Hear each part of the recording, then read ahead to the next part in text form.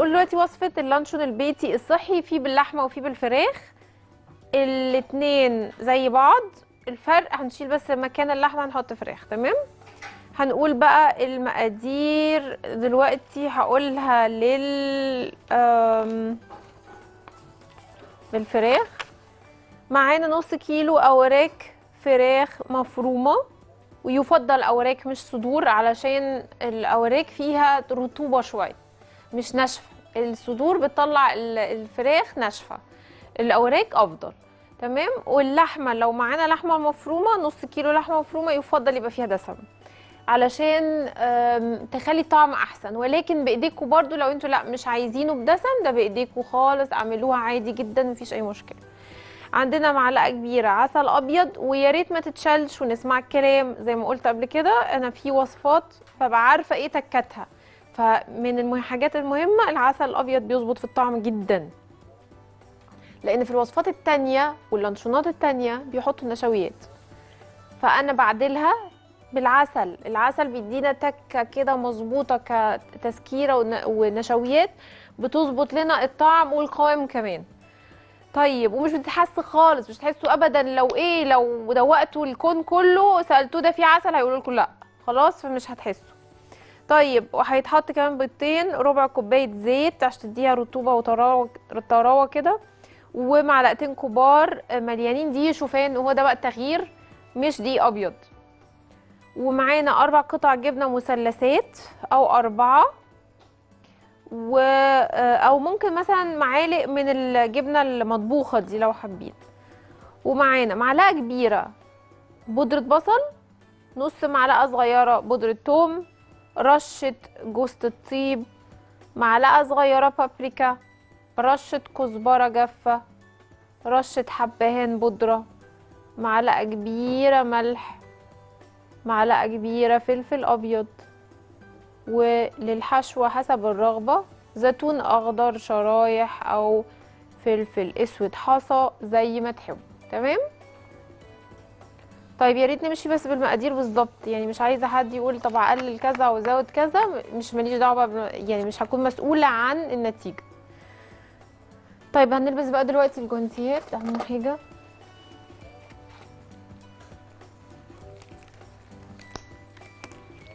نحاول بقى الفترة دي بجد نعيش بجد صحي علشان آه، مناعتنا تفضل عالية. إحنا دلوقتي بصوا في أشد الاحتياج لمناعتنا دي. يعني ما ينفعش إن إحنا نأذيها خالص.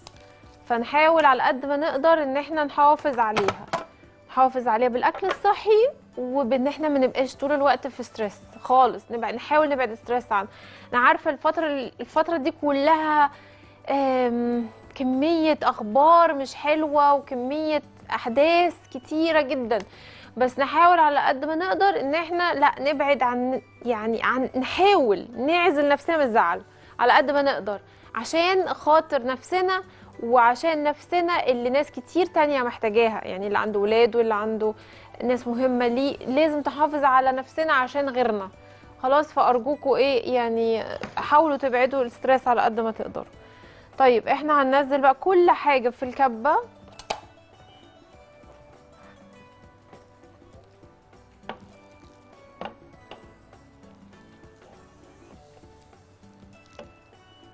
عشان هتتفرم معانا. خلاص؟ كل حاجة معانا زي ما إحنا شايفين. كل اللي إحنا قلنا عليه هنحطه بالشكل ده. هسيب بس السوائل في الآخر يعني الحاجات اللي هي زي ال- البيض مثلا والعسل هسيبه في الآخر. عشان أضمن إن كل النواشف آه، اتفرمت مع بعض كويس. الزيت البيض العسل والجبنة هسيبهم في الآخر. خلاص نحط بس الملح. كده ملح وفلفل تمام. نبتدي بقى نضرب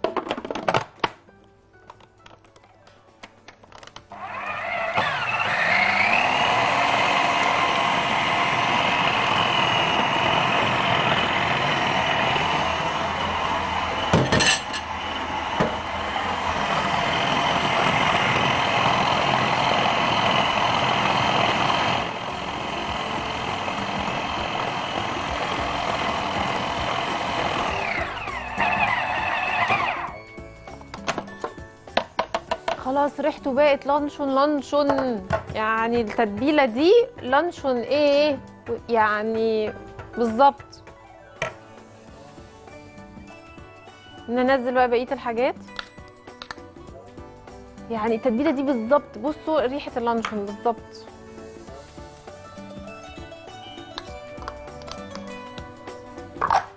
نحط بقى العسل.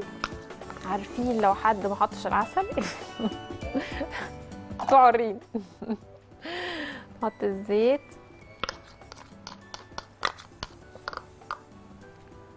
تمام. اللي عايز بقى يحط ألوان يحط بس ألوان اللي هي بتاعت الحاجات المصرح بيها اللي هي ألوان ال- حاجات الأكل.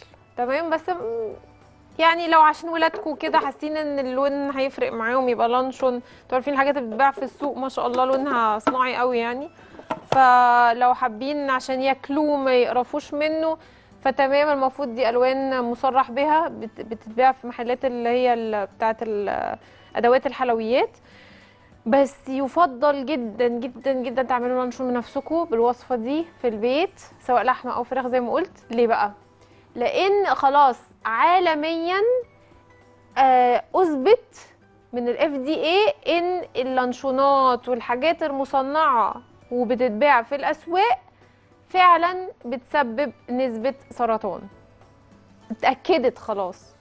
فارجوكوا نبعد عن الحاجات دي المصنعة دي خالص اللي في السوق ونعملها بنفسنا في البيت. وفعلا هتعجبكم إن شاء الله أحسن كتير ألف مرة من اللي إحنا بنجيبه. خلاص نضرب بقى.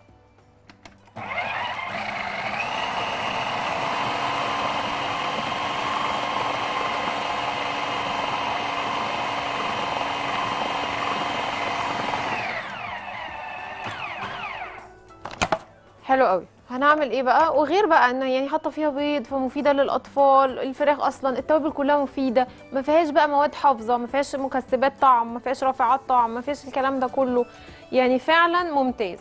أنا بس عايزة أطلع الحاجة اللي هشتغل فيها عشان نبقى شايفين. بصوا إحنا آه، ضروري يبقى فيه آه، قالب أكبر من قالب. تمام؟ قالب أكبر من قالب. عشان هنعمل بماري اللي هو بيتحط فيه ال... يعني بيبقى زي حمام مائي.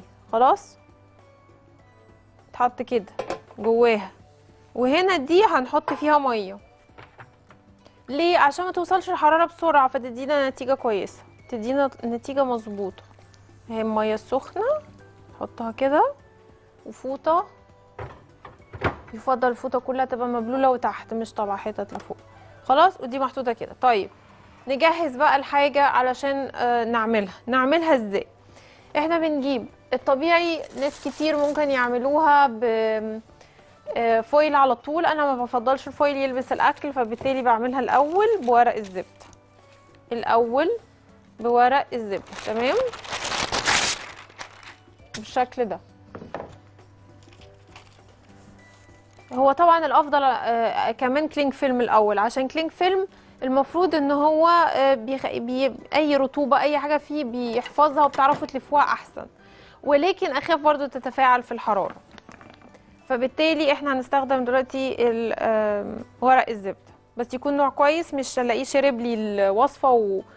وخلاص. أو يعني يعني نحاول نجيب نوع كويس عشان في أنواع مش كويسة في السوق. خليني بقى وأنا بنزل كده اتكلم على موضوع قصة ال diet. لو ال diet مش مظبوط معانا لو إحنا بنعمل diet آه قاسي على جسمنا حارمين نفسنا قوي آه ما بناكلش حاجات غذائية صح آه، ما نديش جسمنا الحاجات اللي لازم لأن في ناس كتير جدا تلاقوها إيه منعت الأكل خالص مثلا ما تاكلش. أو تاكل حاجات قليلة قوي وغلط. تعيش مثلا على كيس شيبس في اليوم وبتقعد اليوم كله ما تاكلش بس على علبة بسكوتة آه، بدقيق أبيض أو على آه، زي ما أقول كيس شيبس أو شوية حاجات غلط وخلاص. تمام؟ ده بيعمل إيه؟ بيخلي المناعة تقع على طول.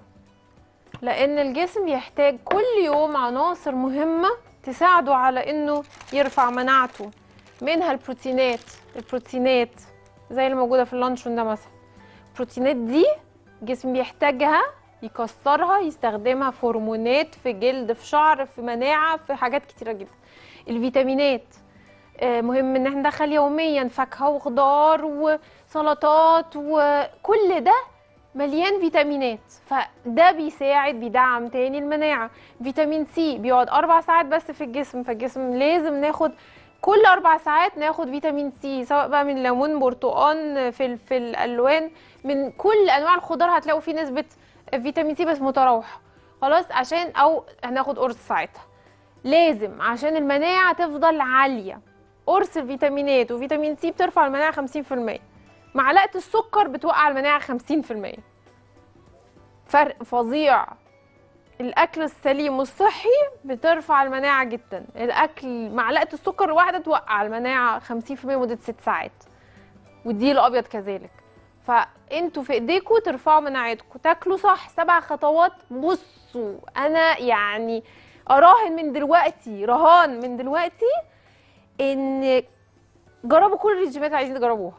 كلها. في الآخر هترجعوا سبع خطوات وهتثبتوا هيثبت حتى بعد ما ماتي هيثبت إن سبع خطوات دي بإذن الله هي دي النظام أصح نظام فعليا للجسم آه، واحد بينزل عليه وزنا بشكل ممتاز مناعته بتعلى صحته بتعلى. وبننزل وإحنا مش جعانين شبعانين إلى حد كبير عن أي نظام تاني. رهان من دلوقتي خلاص؟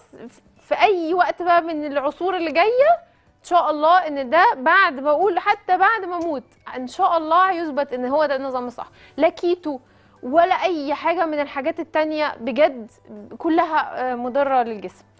ف يا رب يا رب يا رب إن شاء الله للي ما جربش بجد بجد لازم يجرب. يعني هو حاجة أهو يعني آه، سبع خطوات آه، موجودة على النت فيديو لا لا عليه فلوس ولا هو ببلاش عندكم. تقدروا تشوفوه تقدروا تجربوه مش هتخسروا أي حاجة. غير انكم هتكسبوا بس هتكسبوا صحتكم هو ده.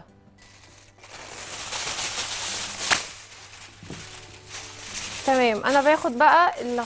ال... إحنا لفيناها كده عشان تدينا الشكل الأسطواني بتاع ال... اللانشون. بلفها بس تاني بقى عشان ورقة الزبده بتطرى معايا برضو فأروح لفاها تاني باللي هو ال- الفويل عشان أحكمها تبقى محكمة معايا كده ومحكمة معايا بالشكل ده. كده. شايفين كده؟ تديني شكل اللانشون اللي إحنا عارفينه. أهو. شكلها لانشون زي اللي إحنا عارفينه. تمام؟ في نفس الوقت لا لفتها آه، بشكل مباشر. هي محفوظة كده بالورق ال- الزبدة معايا في النص. وان شاء الله أمان أكتر كتير جدا. باخدها بقى وأروح نازلة بيها هنا. اهو في الحتة دي. فبالتالي كده هي مش لامسه على طول حرارة عالية هي الحرارة هتبقى بشكل متوازن فيها. آه، الحرارة ما تعديش ال 180 ما تعديش ال 180 علشان تستوي على مهلها بتاخد ساعة ونص في الفرن. بس كده. هتطلعوها تسقع منه تسقع حلو كده وبعدين تبتدوا انكم تقطعوها. تعالوا بقى نشوف مع بعضينا كده آه، اللي سقعوا معانا عاملين إزاي. سيبها في التلاجة لغاية ما تسقع خالص.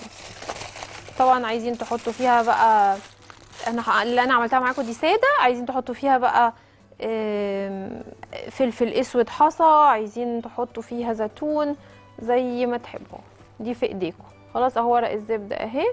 ده كده لانشون الفراخ ونطلع كمان لانشون اللحم.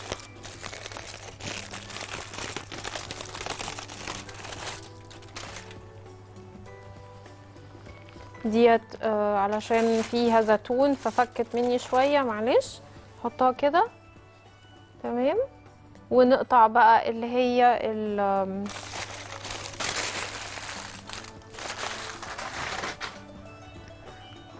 نقطع مع بعضينا.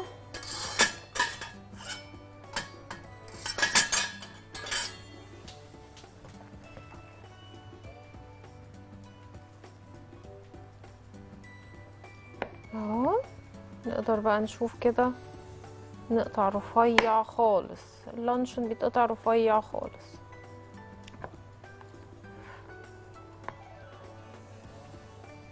قريب جدا من ريحة الأصلي بس طبعا أكيد أكيد أكيد دايما اللانشون البيتي أكيد مش زي الأصلي إن بي- بيحطوا فيه مكسبات طعم رهيبة. مكسبات طعم رهيبة. أي مكسبات طعم بتخلي الحاجة طعمها آه، آه، يشد جدا جدا جدا. تمام؟ طيب نقطع بقى دي. خليني بس أحط دي على جنب عشان ديت الطرف مش مظبوط. هو الزيتون بس بيخلي الحاجة شوية إيه تعرفوش تقطعوها حلو. وطبعا دي آه، محطوط لها شوية لون أحمر عشان يدينا الشكل اللي إحنا إيه اللي بيدي أكتر على شكل ال- اللانش. بصوا بقى هنقدم بقى جنبها الحركات دي كلها الحلوة دي. طبعا لو هتزودوا لها زيتون أو فلفل أسود آه، آه، بعد ما تتفرم. بعد ما تتفرم تمام؟ طيب آه معانا المقادير اهي سواء لحمة أو فراخ. يفضل يبقى فيها شوية دسم عشان يبقى طعمها حلو. كل ده يتفرم في محاضرة الطعام وبعدين هنلفه في ورق زبدة وبعدين ورق فويل وبعدين يتحط بان ماري آه، في آه، حمام مائي زي ما شفنا في قالبين وتحتيهم مية و ومعاهم آه، فوطة على 180 درجة يخش الفرن. بس كده. يا رب بتمنى اللانشون البيتي ده يعجبكم. زي ما قلت اوعوا مش حاولوا ما تجيبوش. لا اوعوا تشتروا اللانشونات الجاهزة لأن زي ما قلنا ال FDA اثبتوا عالميا إن اللانشونات الجاهزة بتسبب cancer. احتمالية كبيرة جدا إنها بتسبب cancer. تمام؟ فإحنا في غنى عنها يعني خالص. تمام؟ موضوع سهل جدا يتعمل في البيت. آه، إحنا كده خلصنا اللانشون بيتي. سواء اللحمة أو الفراخ يا رب الوصفات تكون عجبتكم